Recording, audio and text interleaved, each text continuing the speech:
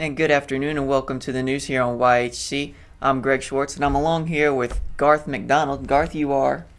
I'm a public information officer with the Small Business Administration Office of Disaster Assistance. And there are there's a new uh, mobile assistance station located in Bloomfield. And Garth, you're going to touch on what that is exactly and how people can use that to help them out.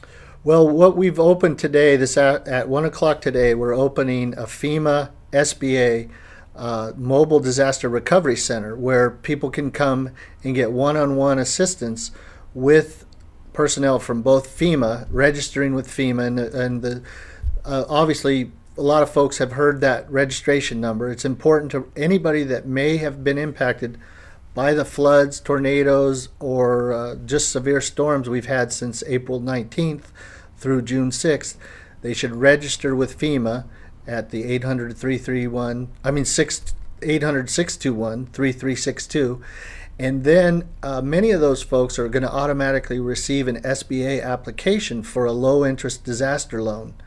Um, what we do highly recommend is people fill out that application and get that into the SBA um, because there might be some damage that's not covered by insurance or they're un- uninsured and they can get this low interest loan uh, from the U.S. federal government to help them recover. We're basically the long term recovery arm of the federal disaster assistance. And so, what we'll do is evaluate whether they can afford a loan. Some folks in this economy may feel like they can't take on any additional debt, they may not want a loan.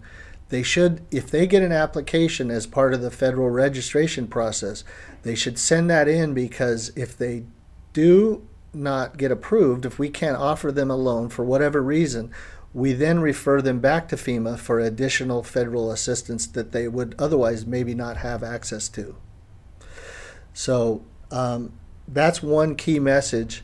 Um, they should register even if they have insurance because a lot of times the insurance companies are determining that they don't have um, basically they're, they're not getting compensated for all the damage they may have. They're, these low interest loans are available to homeowners renters businesses of all sizes and private nonprofit organizations so even though we're the U.S. Small Business Administration, many people aren't aware of these direct loans for disaster assistance that go to homeowners and renters as well. Um, and they can basically receive a low interest loan to repair or replace their damaged property. They can borrow up to forty thousand dollars for personal property they may have lost. If a if a if a car got flooded out and it wasn't covered by insurance, they could potentially use these low interest loans for that. Um, if they do fill out the application and they are approved, they're not required to take the loan. They can take what money they need to recover, and they can actually, um, you know, only take the loan if they if they really feel like they could utilize it. So it's good not to eliminate their options to make sure you you if you do receive an application, fill that out.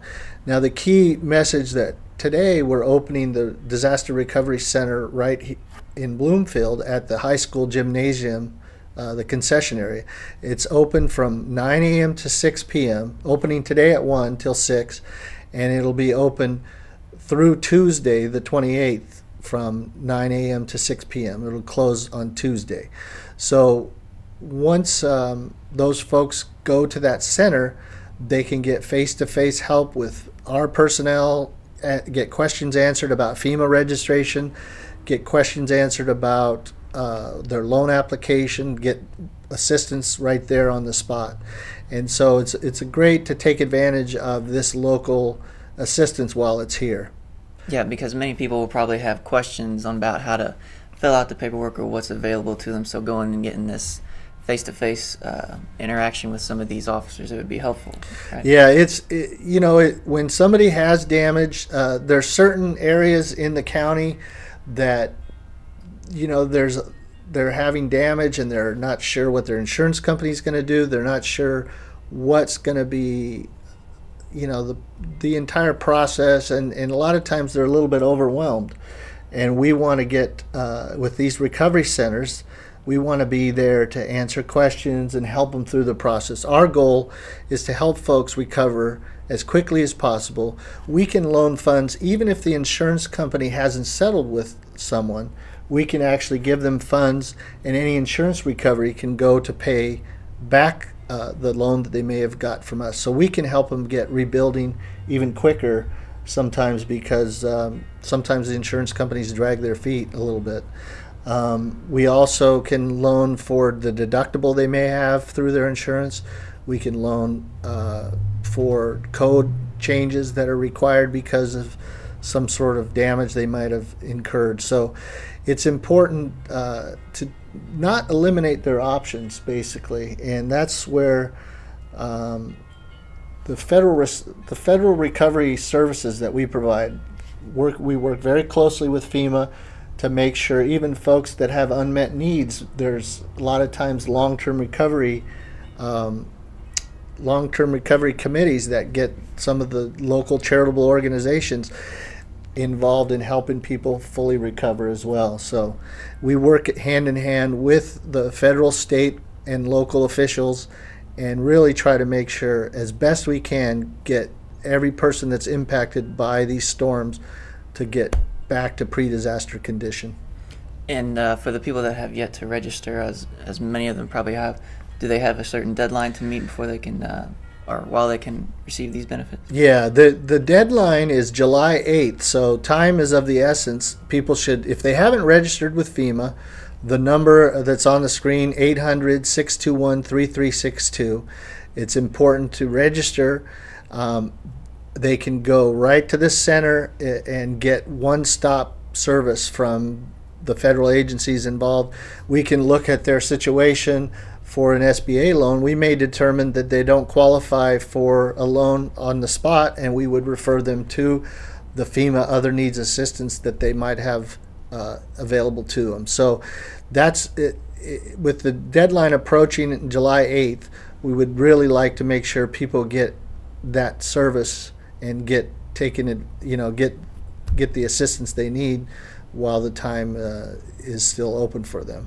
Yeah, because I mean, many people out there probably from the flooding they do need this assistance, and it's it's great that you all are offering this uh, this uh, this program for them to uh, to receive it. Well, the, and a, another key message that we try to convey is, of course, we know that in other parts of the state, in Joplin, they were hit so such great damage out there, but these funds are available for all the, the state residents that were impacted by the disaster. So you're not, just because you're getting FEMA assistance here in Stoddard County, you're not taking away anything that would go to the Joplin uh, victims, the people that are surviving that, that huge uh, tornado out there. There are direct funds available from FEMA and the U.S. Small Business Administration for the folks here in the counties that that um, you know may not have had as severe damage, but they definitely have damage. And for anybody that was flooded or impacted, this uh, this is a big disaster for them as well. Not just uh, maybe not the entire community, but it's a little more isolated. But we don't want to, you know, this is a, an area that people are self-sufficient the, the show me state. They like to, you know, take care of themselves. And this is these are federal disaster funds that are made available because of the impact of these presidential declared disasters. So it's it's something they should take advantage of. Any questions they might have specifically, if they can't get to the centers, they can call FEMA at the number that's on the screen, and they can call the SBA at. We have a number they can ask any questions they would like and that phone number is 800 um, 659 2955. And that's 800 659 2955. And they can call the SBA directly and ask questions about loans and their insurance and things like that. Once they're assigned a loan officer, we'll work with their them directly with their insurance recoveries. If they have insurance, we'll make sure that their taken care of as best we can.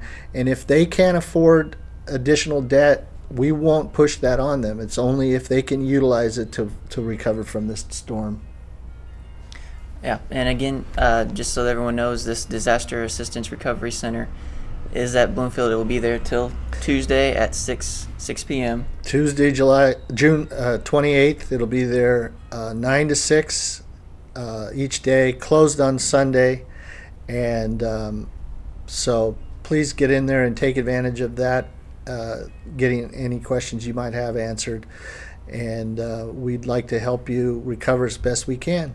And again, that deadline is July eighth. July 8th. Yeah.